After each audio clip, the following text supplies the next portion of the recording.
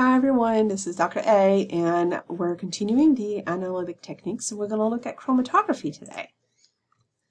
So uh, chromatography is a group of techniques that is used to separate complex mixtures on the basis of different chemical and physical interactions of compounds in a sample. The basic components of a chromatographer are going to be the mobile phase, the stationary phase, the column holding the stationary phase, and the separated components.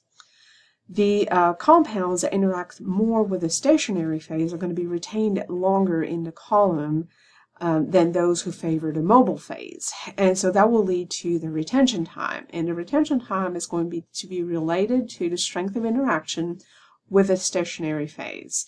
So uh, the retention time then of a sample can be compared to the retention time of a standard to then identify the components.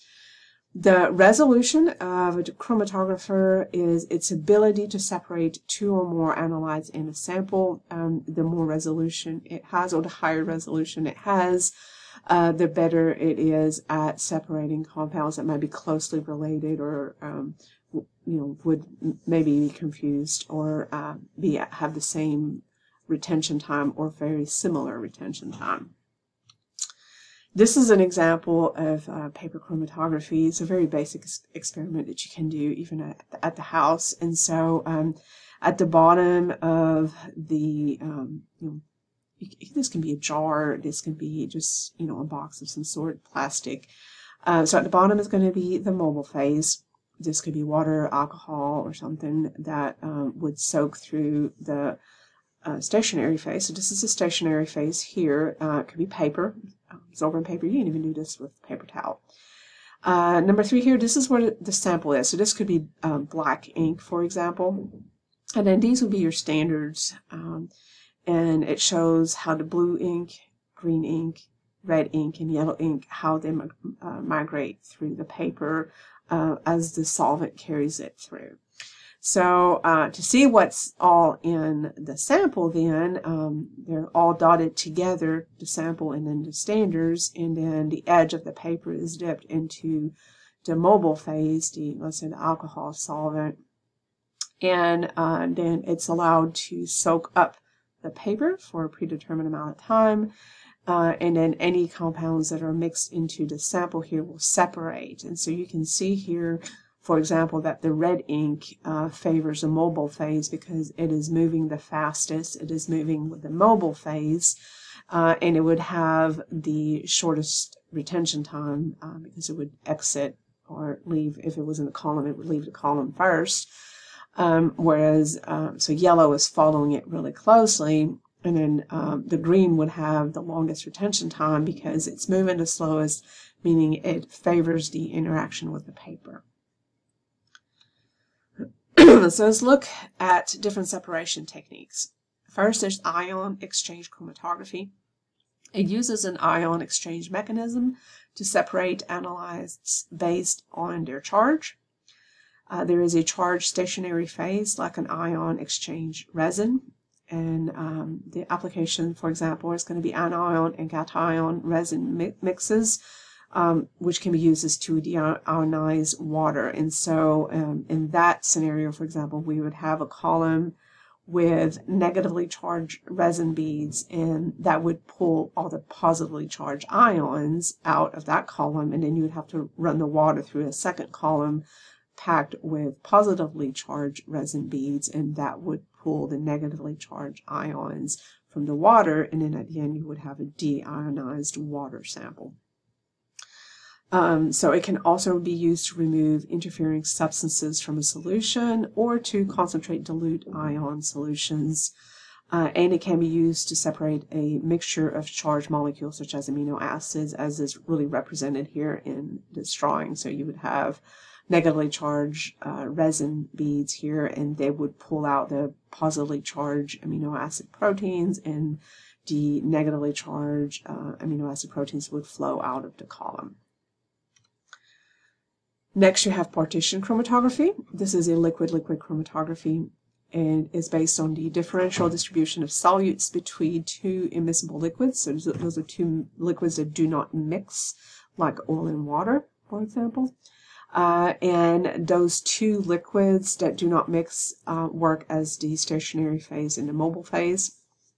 And the separation of the solutes is based on its relative solubility in either an organic, which is a nonpolar solvent, and an aqueous, which would be a polar solvent. So which one does it go with?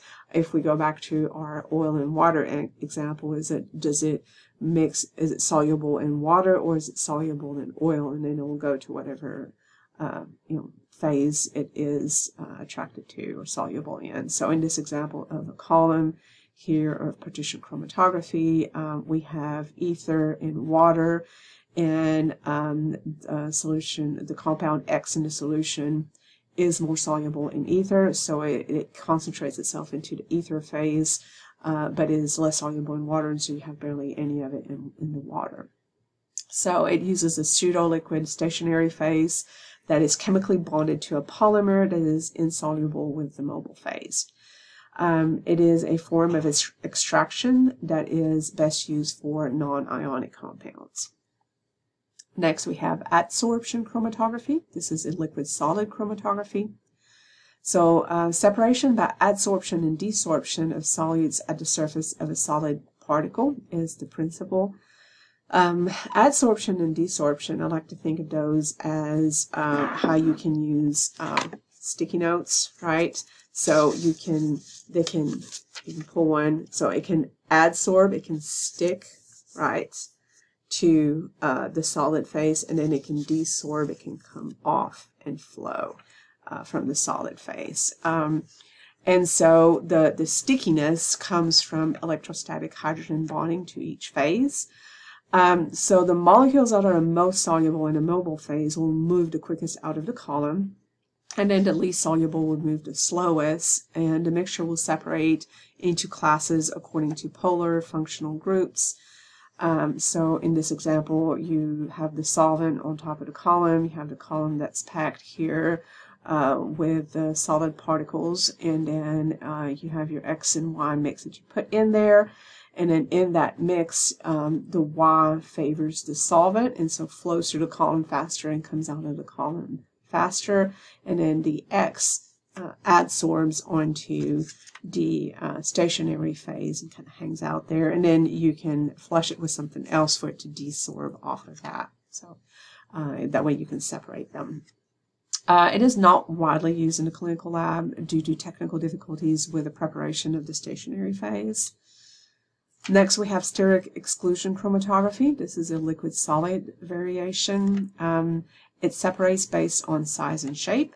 It is also known as size exclusion chromatography, gel permeation, or gel filtration chromatography.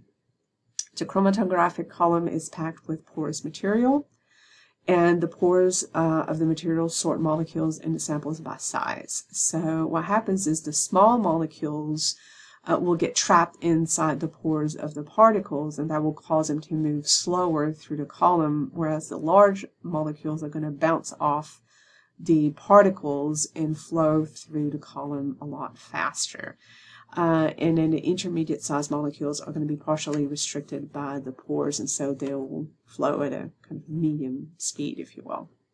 this is very low resolution, uh, but the pore size of these beads are used to estimate the dimension of macromolecules. Um, steric exclusion chromatography is a widely used polymer characterization method because of its ability to provide good molar mass distribution uh, results for polymers. Next, we have affinity chromatography.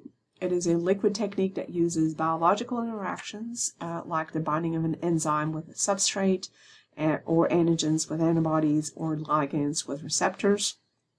And their application is nucleic acid purification, protein purification from cell-free ex extract and a purification from blood. Um, and so uh, you have a column with beads that are covalently attached uh, to um, with glucose residues attached to it. And then you have a pool of proteins that contain the target proteins. You add it to the column, and then um, the the beads will bind glucose only, and everything else, other proteins and things, um, are going to travel down. So this uh, you have a glucose binding target protein. Uh, there we go. And it binds on the beads. Um, and then you can flush it with a glucose um, solution and it binds the target proteins and cleaves it from the residues and allows it to wash from the column. So that separated it out of the mix of uh, the compounds in the sample to begin with. So. Uh, so there are different chromatographic procedures. So first we looked at all the different ways to separate things, but now let's look at all the procedures. So first there's th thin layer chromatography. It is a variant of column chromatography. It is uh, more like planar, so like two-dimensional, if you will, kind of uh, chromatography. So a thin layer of sorbent is uniformly coated on a glass or plastic plate. Uh, the samples are applied as spots near the edge of the plate. One edge of the plate is placed in the solvent, and then the solvent migrates up the thin layer by capillary action. After the solvent reaches a predetermined height, the plate is removed and dried, and then the salt sample components are identified by comparison with the standards on the same sample plate. And uh, separation can be achieved using any of the separation techniques already mentioned uh, and just applied here in this type of procedure. Um, its application is a semi-quantitative uh, screening test procedures. Uh, it can be used to isolate compounds of a mixture for further analysis.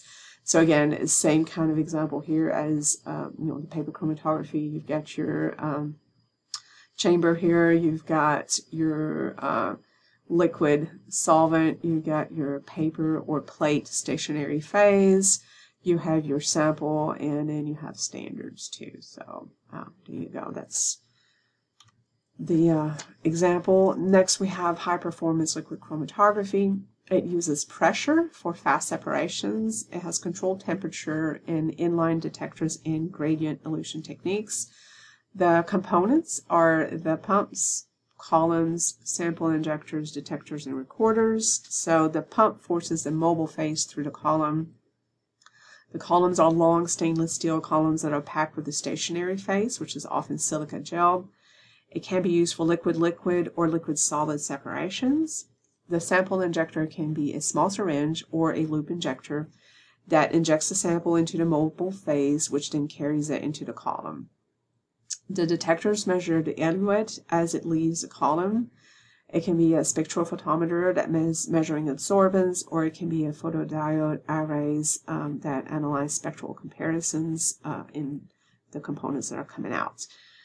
The recorder is going to record the detector signal versus the time in the column, and it, there will make uh, they will make a it will make a chromatogram and then the retention time is used to identify the compounds, and the height of the peak is uh, used to determine concentration. The application of HPLC is uh, drug analysis in urine. This is an example of a chromatogram, um, and you can see the retention time here. So this first peak had the uh, shortest retention time. This peak over here had one of the longest retention time. This peak here had the highest concentration. Uh, and you can uh, compare this to standards of, you know, standard chromatograms and patterns and stuff to identify, um, you know, what's what uh, according to retention time. Uh, gas chromatography, it uses, um, it, sorry, it is used to separate mixtures of compounds that are volatile or can be made volatile. Uh, it can be a gas solid chromatography with a solid stationary phase, or a gas liquid with a non-volatile liquid stationary phase. Uh, the mobile phase is gas. The carrier gases that can be used are nitrogen, helium, or argon. The setup is very similar to high performance liquid chromatography. The sample has to be injected as a gas or it be heated above boiling so it vaporizes. Uh, the lower the boiling point of the sample, the faster it will move through the column. Um, and uh, the components of a gas chromatography grapher are um, the columns, which can be glass or stainless steel, and then the detectors, which can be thermal conductivity or flame ionization. This is an example or a diagram of a, of a gas chromatograph. So uh, here's the carrier gas. They have helium, nitrogen, and uh, hydrogen gases. uh, and it will be flowing through here. You inject a sample, it all enters into a temperature regulated oven, travels through the column, and then enters the detector. And uh, a mass spectrometer can be one of the detectors used, and, and then in that case, this would be a GCMS or gas chromatographer mass spectrometer. And we're going to talk about mass spectrometry then in the next lesson. So I'll see you there. I hope this was helpful all about chromatography.